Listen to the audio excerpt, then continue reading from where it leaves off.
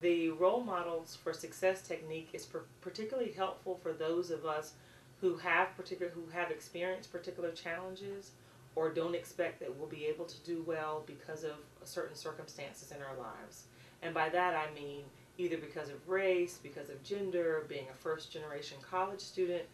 we may assume that we're not going to be able to achieve and we may think other people think that we can't achieve because we fall into one of those categories.